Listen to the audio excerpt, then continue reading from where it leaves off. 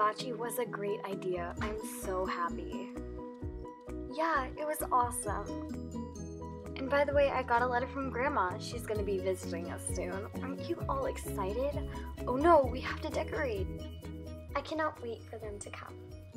Let's finish all of this delicious food before we leave, though. Sounds like a plan.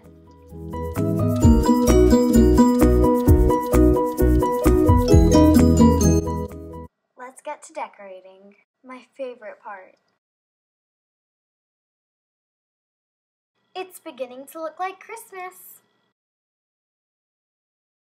Oh, that's Grandma. I'll get it. Hello, it's me, Grandma. I brought some presents for you girls and something special for you, Julie. Thank you, Grandma. You've always been very talented at knitting. Now time to try on your present, Julie. I know you like bunnies. Go ahead, try it on. I love it. Thanks, Grandma. you look like Ralphie from A Christmas Story.